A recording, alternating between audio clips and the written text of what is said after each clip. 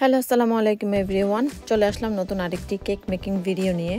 আর এটাই ছিল রেক্টেঙ্গেল শেপে করা আমার সবচেয়ে বড় কেকের অর্ডার আর এটার ওজন ছিল প্রায় পনেরো পাউন্ড আর আমি এর আগে অনেক বড় বড় কেকও করেছি বাট ওগুলো ছিল টিয়ার সহ মানে টু টিয়ার থ্রি টিয়ার এরকম। বাট রেক্টেঙ্গেল শেপের মধ্যে আমি কখনোই হচ্ছে যে এত বড় কেকটা বানাইনি। তো যে কেকটা আমি আজকে বানাচ্ছি, তার অর্ধেক হবে চকলেট কেক আর অর্ধেক হবে ভ্যানিলা স্পঞ্জ কেক প্রথমে আমি এখানে চকলেট কেকটাকে তিন ভাগে ভাগ করে নিচ্ছি। আমি ভ্যানিলা এবং চকলেট দুইটাকেই কিন্তু তিন ভাগে ভাগ করে করে নিব। ফার্স্টে চকলেট কেকটাকে করে নিচ্ছি।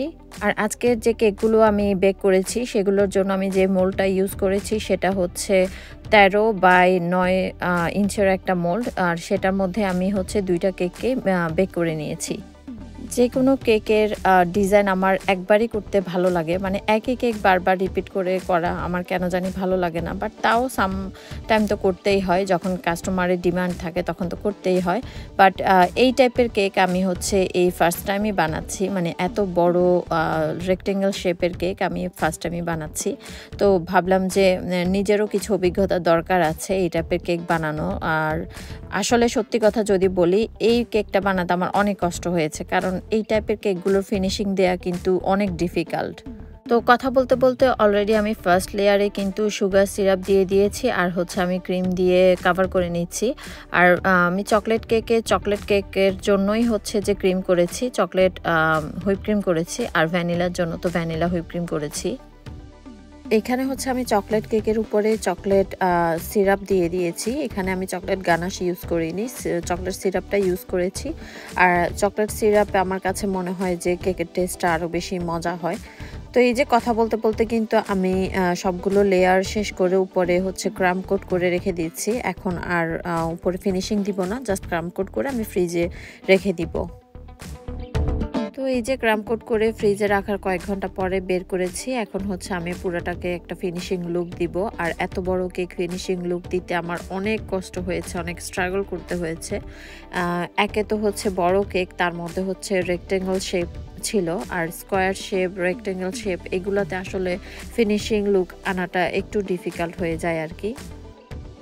তো এখানে হচ্ছে আমি পুরাটাকে অলরেডি কাভার করে ফিনিশিং লুকটা নিয়ে এসেছি। আর এখানে হচ্ছে আমি এখন ডিজাইনটা শুরু করব। আর পাশে হচ্ছে আমি একটা টিল কালার ইউজ করছি। যেহেতু কেকটা হচ্ছে একটা বয়ের জন্য বার্থডে বয়ের জন্য। তো সেই জন্য বয়ের কালারগুলো আসলে চুজ করতে একটু কষ্ট হয়ে যায়। কিন্তু গার্লের জন্য তো সব ধরনের লাইট কালার ইউজ করা যায়। বয়দের জন্য কালার খুঁজতে গেলে আমার কাছে মনে হয় একটু কষ্টকর হয়ে যায়। তো যাই হোক, আমি সাইডে টিল কালারটা দিয়ে half white and half teal colour রেখেছি, একটা শেডেড শেডের মধ্যে রেখেছি আর কি। আর উপরে হচ্ছে যে আমি একটা টু ডি নজেল দিয়ে কিছু রোজেট করে নিচ্ছি।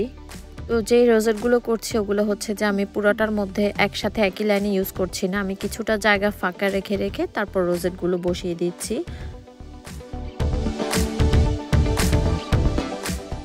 রোজেট করার পরে মাঝখানে যেই ফাঁকা জায়গাটা ছিল, সেটার জন্য আমি হচ্ছে ওপেন স্টার একটা নজল নিয়েছি। সেইটা দিয়ে আমি ডিজাইন করে দিচ্ছি। আর পুরোটা আমি কাভার করছি না। এটার পরেও আরও কিছু ডিজাইন বাকি আছে। আর এটার জন্য আমি ইয়েলো কালারটা চুজ করেছি কারণ আমার কাছে মনে হলো টিল ব্লু এই কালারগুলোর সাথে ইয়েলো কালারটা দেখতে ভালো লাগবে। আর বয়ের কেকের মধ্যে ইয়েলো কালারটা সত্যি মানিয়েছিল আর কি। যখন আমি ফিনিশিং লুক করার পরে আপনারা দেখতে পারবেন যে কেকটা লুকটা কেমন হয়েছে। আর বাকি যে জায়গাটা খালি ছিল, তার মধ্যে আমি হচ্ছে ওপেন স্টারের একদম যে ছোট নজেলটা আছে, ওইটা দিয়ে আমি হচ্ছে ডিজাইন করে দিচ্ছিলাম। আর বাকি যে ডিজাইনটা, সেটা হচ্ছে আমি যেই নজলটা দিয়ে আমি রোজেট করেছিলাম, ওই নজলটা একই নজলটা দিয়ে আমি হচ্ছে এখানে ছোট ছোট কিছু ফ্লাওয়ার বসিয়ে দিচ্ছি। আর আমি এই ডিজাইনটা আরও একবার একটা কেকের মধ্যে দেখিয়েছিলাম যে নজলটাকে ধরে জাস্ট হাতটাকে একটু টুইস্ট করে নিলেই কিন্তু একটা সুন্দর ফ্লাওয়ার হয়ে যায়। তো আমি পুরা কেকের মধ্যে এই ফ্লাওয়ারটা বসিয়ে দিচ্ছিলাম। তারপরে এখানে হচ্ছে আমি কিছু বল বসিয়ে দিচ্ছি। এগুলো ছিল নন এডিবল আর গোল্ড কালারের আর এই সমস্ত কেকের মধ্যে আসলে এই টাইপের বল দিলেই কিন্তু ডিজাইনটা বেশি ফুটে ওঠে। আমি সাথে কিছু হোয়াইট কালারের বলও বসিয়ে দিয়েছিলাম। প্রথমে আমি ভেবেছিলাম যে আমি কিছু এডিবল বল করে নিব। আমি আসলে পরে আর সময়টা কাভার করতে পারিনি। আর এত বড় কেকের জন্য যদি আমি বল বানাতে যাই চকলেট বল, সেক্ষেত্রে অনেক সময় লেগে যাবে।